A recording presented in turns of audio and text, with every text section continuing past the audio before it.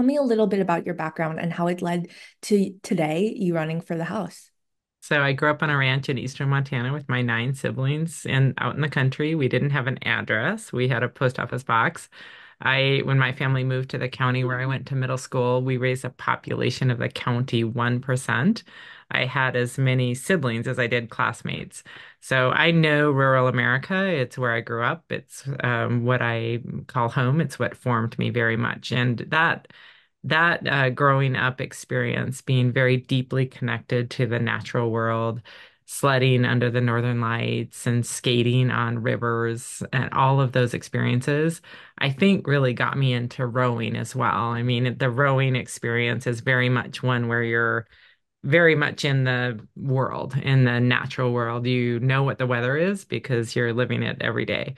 So I think that that's uh, super connected. And so running for Congress for me from Montana was really a step to have representation and a voice from rural America in the Democratic Congress. I think we very much need to have the voices heard from the people in rural America. And I know rural America, it's my home, it's where I grew up.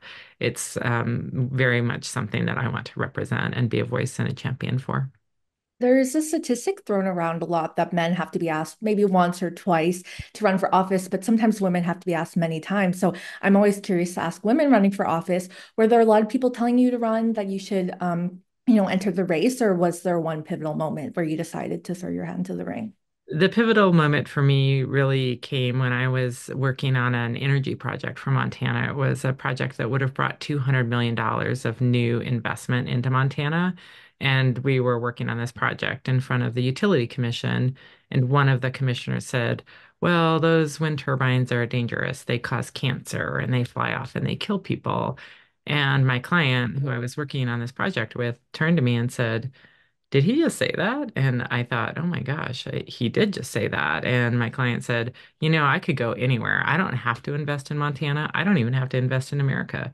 I can go to Colombia. And I thought, that is not the America that I know. I'm an attorney. I have practiced here in Montana for over two decades, and decisions really have to be made on facts, the rule of law, and um, you know, practical experience.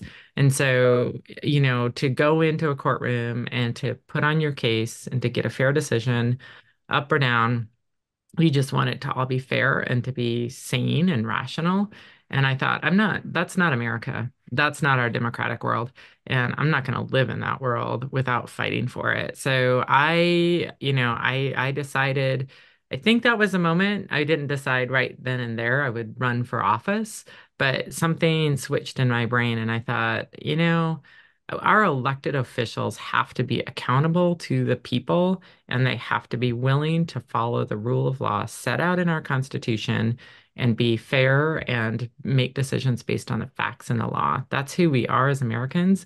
That's what I believe in. And that's why I ultimately got into this race. But nobody asked me to run. I mean, nobody said, hey, you know, this is, uh, something that you should do. It's something that I decided to do because I I'm from here. I live here. I have one home. It's in Montana. I'm tired of rich people from California, like my opponent, coming here and saying, Oh, I'm going to represent you. And they don't know anything about the world that we actually live in here in Montana. I live here. I'm hmm. raising my kids here and I pay property taxes. I pay the, you know, the expenses that are the function of the high cost of housing. I know the issues that we're facing on the ground because this is my home.